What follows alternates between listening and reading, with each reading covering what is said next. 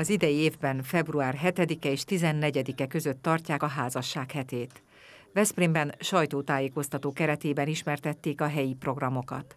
A megnyitó istentiszteletre a Kálvin Parki Református templomban, a záró szentmisére pedig az Árpádházi Szent Margit templomban kerül sor. Závodi Zsuzsanna református lelkész a házassági hűségre hívta fel a figyelmet, Udvardi György pedig beszédében a házasság fontosságáról beszélt. Mindig elhangzik egy kérdés olyan eseményekkel kapcsolatban, amelyek mindennap életünk részét képezik, szükséges-e ezt ünnepelni? Szükséges-e ezt társadalmi méretekben is megjeleníteni?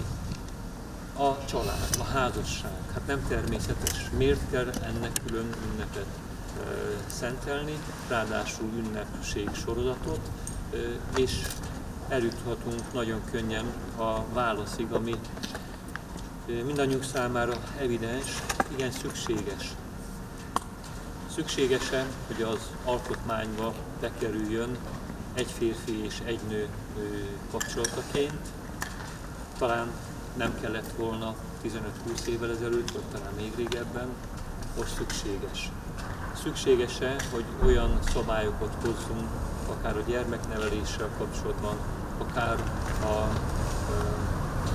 házaspárok életének kezdésével kapcsolatban, támogatásával kapcsolatban, amely korábban más módon megvalósulhattak, és most komoly intézményi, kormányzati állami segítséggel valósulnak ezek. A sajtótájékoztatón beszédet mondott Porga Gyula, Veszprém megyei jogú város polgármestere is, aki örömét fejezte ki, hogy Veszprém 2013 óta minden esztendőben megszervezheti a házasság hetét. Az esemény programjairól bővebb információ a házassághete.hu weboldalon található.